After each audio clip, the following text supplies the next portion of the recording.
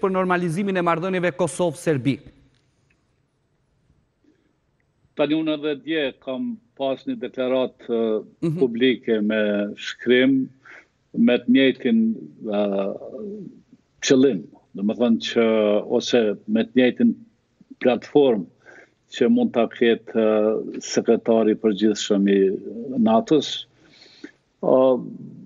Dihet që të gjithë pa përjashtim edhe BE-ja, edhe SHBA-ja, edhe shtetet e NATO-s janë të përcaktuara për zbatimin e marrëveshjeve të nënshkruara në Bruksel që nënkupton edhe themelimin e asociacionit lidhur me komunat serbe, me shumicë serbe. Tani, deri dikun, po besoj që ka të arritura, ka të arritura për shkak të kontakteve të përhershme me Brukselin dhe me mhm. delegacionin e Serbisë, po besoj që e rëndësishme është kjo për shkak dhe të frigës që mund të ketë përplasje veçanërisht në veriun e Kosovës ku ka pas herën e kaluar, dhe tani mund të ketë përplasje të tjera sa i përket mundësisë ose pamundësisë për të realizu atë që Serbia ose komuniteti serb në Kosovë e ka deklaruar publikisht dhe që e dëshiron, pra themelimin e asociacionit. A është zoti Aliti një kërcënim serioz Radojçiçi për shtetin e Kosovës, për kryeministrit, për liderët e opozitës atje duke u nisur edhe nga reagimi i fundit i ish kryeministrit Albin Kurti? Zoti Radojçiç menaxhon me me para shumë, domethënë ka ka fonde të mëdha të cilat i ka ka pas përfitime veçanërisht në veriun e Kosovës përmes kontrabandës dhe përmes rrjeteve të tija.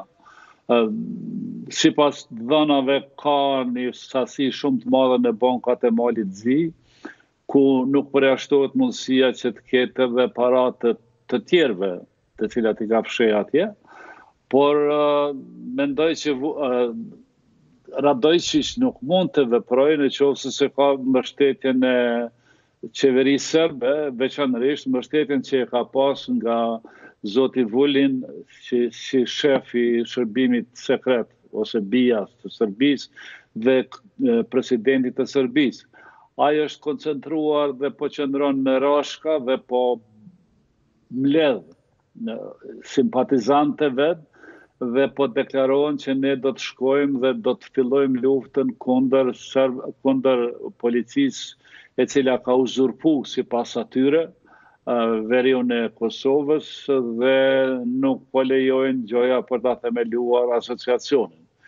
Por rreziku që Po përmendet shumë nga po politikanët në Kosovë për një luftë në Ballkan të organizuar nga Rusia, kështu unë jam skeptik që mund të ndodhë, ashtu siç jam skeptik që mund të sulmojë ushtarakisht Serbia, sepse Serbia nuk ka këllqe për ta sulmuar Kosovën, për, përderisa ajo është e mbrojtur nga ajo ombrella e NATO-s. Pra janë deklarata më shumë politike, mendoni?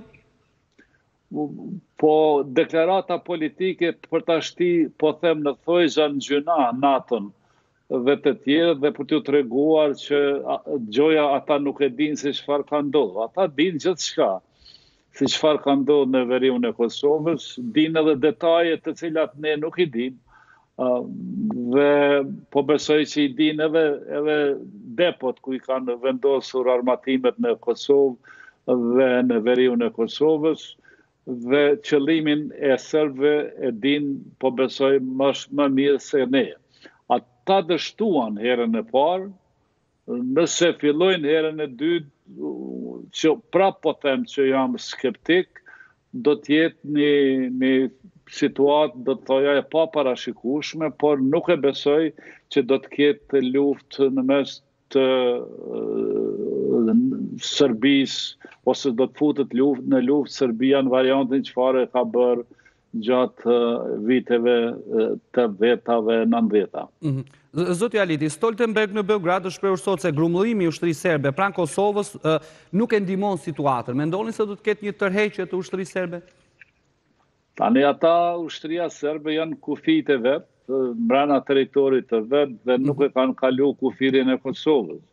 Unë po besoj që Kosova dhe Serbia duhet të punojnë shumë bashkë për ta shtensionu situatën, për të kriju një politikë të favorshme e cila ju krijon hapësirë të dyja vendeve për integrim në Bashkimin Evropian dhe në Bashkimin Evropian as neve dhe as Serbia nuk mund të futemi në qoftë se përplasemi me armë ose i vendosim ushtritë tona në kufi. A, dihet që janë rreth 40 e ca baza ushtarake rreth kufive të Kosovës dhe arsyet po dihen, rreziku nga Kosova nuk i vjen Serbisë asnjëherë dhe s'i ka shku asnjëherë, Kosova nuk ka pretendime as Shqipëria as NATO për ta pushtuar Serbinë.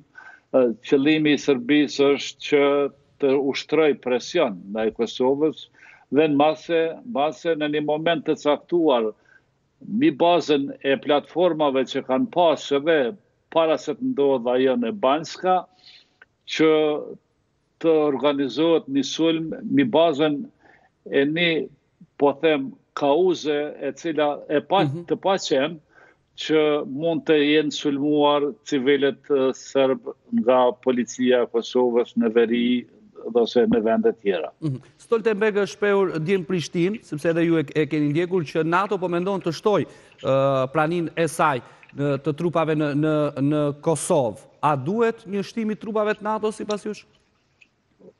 Për mua, trupat e NATO-s duhet të, të shtohen shumë ma shumë se që janë, sepse, sepse është, Kosova është investim i NATO-s, është, është storie e NATO-s, storie e Perëndimit, dhe storie e, e, e luftës së zhvilluar nga UÇK-ja në Kosovë. Prandaj NATO duhet ta sigurojë edhe Ballkanin Perëndimor në përgjithësi dhe ta sigurojë Ballkanin që të mos ketë lufta dhe të mos ketë përplasje njëna, njëna me tjetrën. Tani janë dy, dy arsye që mund të mhm. Tojë forca ose mund të lindë nevoja mi bazën e marrëveshjeve, të cilat janë përmend disa herë, që të vendoset një një regjim ta quajmë ashtu në veriun e Kosovës i cili garanton funksionimin e asociacionit edhe në qoftë se Kosova nuk nuk është dakord ose ose është ideja që të vendosen të që të shpërndahen trupat në Kosovë. Unë mendoj që Kosova, Kosova do të ishte mirë me pas statusin e Islandës, që Që? Që nështë ta s'ka qenë, Islanda është anëtare e NATO-s dhe nuk është shtet militarist, nuk ka as ushtri të veten.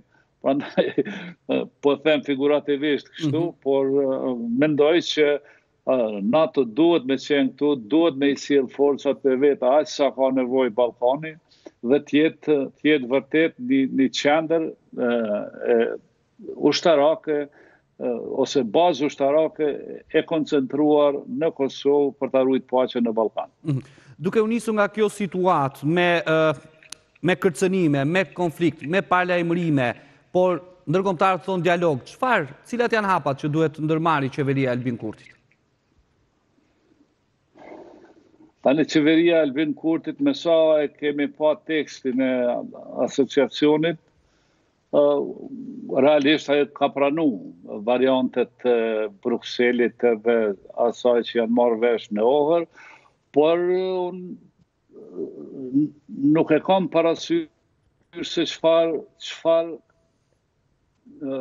do të nënshkruhet tani. Që po thojnë duhet me nënshkru, kur po kërkohet që të fillojë zbatueshmëria e marrëveshjeve. Unë besoj që qeveria Kurti do të duhej të fillojë zbatimin e marrëveshjeve të nënshkruara në Bruksel dhe çështjen e statutit të asociacionit ta shqyrtojmë në Gjykatën Kushtetuese dhe bashkë me me ndërmjetësuesit të nxirret një konkluzion edhe nga Gjykata Kushtetuese që ka apo nuk ka kompetenca ekzekutive asociacioni. Në qoftë se nuk ka kompetenca ekzekutive, atëherë duhet, duhet nënshkrimet që i kemi vendosë në Bruksel me fillu me i zbatu. Mhm. Zoti Aliti, disa ditë më parë ju deklaruat në media në Kosovë, sepse edhe e kam ndjekur në rrjetet sociale, se Radoiçiq ka kërcënuar liderët e opozitës atje. Ka kërcënuar edhe Kryeministrin, apo vetëm liderët e opozitës? Radoiçiq ka kërcënuar edhe policinë e Kosovës, edhe politikanët e Kosovës, edhe njerëzit të cilët sipas atij bëhen pengesë për vendosjen e Asociacionit, ta them kështu në thonjëza, por ai akuzën e ka pasur ose gatishmërinë e ka treguar që nëse qeveria e Kosovës merr masa kundër objektit të tij që ka një restorant diku në një ndërtesë, nuk e di saktë ku e ka në Mitrovicë, mhm. dhe banesën dhe zyrave të tij, ku janë të vendosur gruaja dhe fëmija e tij, të cilët nuk kanë mujtë me qëndru në, në Beograd, po janë kthy në Kosovë, atëhere ai do të revoltohet dhe do të merr masa për të goditur, për të goditur, pa përmendë emna, por politikanë të caktuar dhe po lejtë ku di unë sa dhe kënd e ka shënjestruar dhe kjo, kjo është kjo është mesazhi i Radojçiqit që e ka dërgu përmes një individit të cilin e ka sjellë ai në policinë e Kosovës.